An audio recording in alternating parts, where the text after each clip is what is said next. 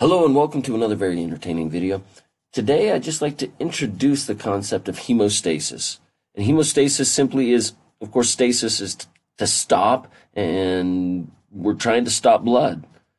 Um, this is all about blood clotting and the steps taken to get there. Now, I, I totally understand that, you know, the first response is going to be vascular spasm, smooth muscle contraction, that kind of stuff. We're not going to delve into that, but we're going to pick up the story with platelet plug and the official blood clot associated with fibrin crosslinks. Not going to go into detail, but just to introduce how these steps work to control the formation of a blood clot. And also to talk just a little bit about how to prevent spontaneous clots from forming. All right, we've kind of got a sagittal section of a blood vessel here, uh, a vein that we want to take a look at and see if we can't identify some of the key parts that are going to be important for our story. Of course, we see healthy intact endothelial cells, shown here in yellow. As they're endothelial cells, they need a basement membrane to sit on. So we see the connective tissue basement membrane here, and it's going to be relevant because connective tissue has a lot of collagen. Of course, being transported, we have red blood cells. We also have thrombocytes or platelets. Remember, these are cell fragments. Essentially, a large megakaryocyte hanging out in the red bone marrow continues to shed, to pinch off bits and pieces of itself. So they have organelles, they don't have a nucleus, but in many ways, they're kind of small, tiny cells. The other player that I want to mention here really quick is this little green dot, VWF, stands for von Willebrand factor. Now, under normal conditions, these things kind of all exist, but in an inactivated states. I'm talking about the platelets, I'm talking about the VWF. Clotting is always kind of going on. I don't want my blood to get too thin, but if it gets too thick and I actually get real clots forming, then, then that could be problematic. Superficial thrombophlebitis, um, or even worse, deep vein thrombosis. This could lead to pulmonary embolism, clots in the lung, and this, at the very least, is painful and could certainly be life threatening. Key to the regulation of all of these pieces are healthy endothelial cells. And we've got another video that shows how these healthy endothelial cells contribute to the regulation or the prevention of spontaneous clot formation by inhibiting platelets so we won't go into detail about those, but we do have, we can list them. We have coming from these endothelial cells, we've got nitric oxide, another signaling molecule called prostacyclin, and mounted on the surface of these cells, an ADPase, whose job it is to convert ADP into AMP. Those are the three primary mechanisms that the endothelial cells use to block platelet formation. If you want details on how those work, please um, watch the other video. Of course, our story here is to understand what happens to activate the system when things go wrong. So let's take a look at how damage to this system can initiate a chain of events leading to clot formation and hemostasis. One of the key initiators following damage is simply exposed collagen. As we can see now down here on the bottom, if the endothelial cell layer is disrupted, Collagen is exposed to these players that would never otherwise see it. They're just used to seeing these endothelial cells. But once the endothelial cell layer is compromised, collagen becomes exposed. And collagen is the target of von Willebrand factor, VWF. Now, VWF, like we said previously, it is hanging out in the blood, and so these VWF molecules circulating in the blood are going to come down and they're going to bind to exposed collagen. We also have a lot of VWF in healthy endothelial cells. And once, once these endothelial cells are ruptured, we have an increased amount of VWF coming from those cells, also binding to exposed collagen.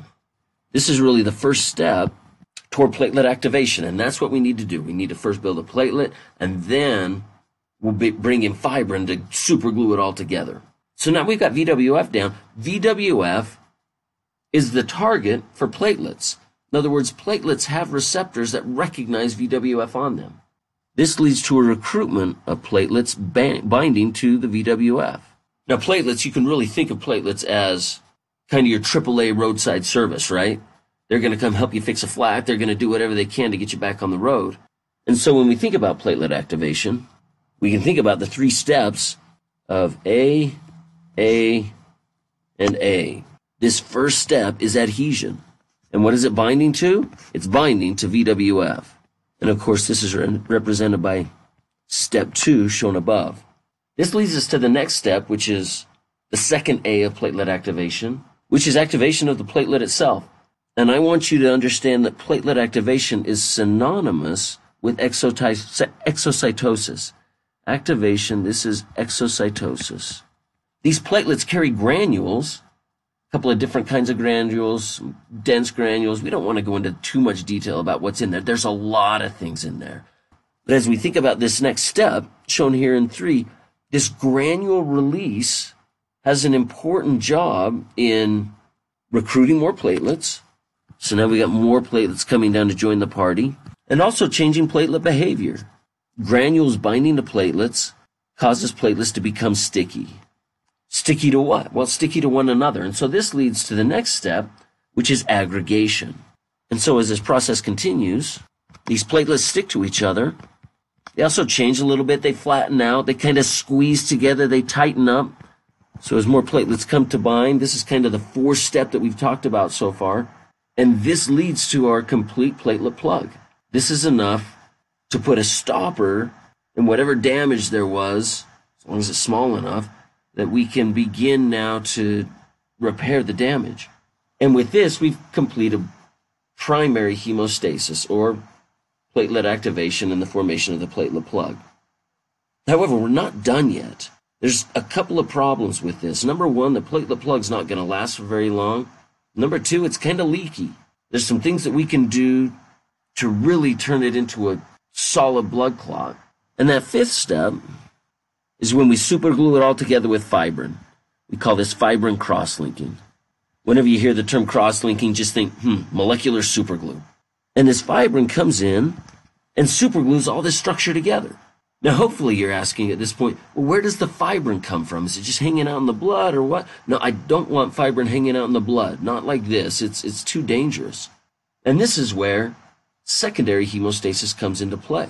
What I do have in the blood is a protein called fibrinogen. And fibrinogen, you kind of see that GEN, the gen on the end of it. This is a zymogen.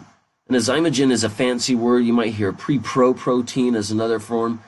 These are proteins that are made but they're specifically designed to be inactive.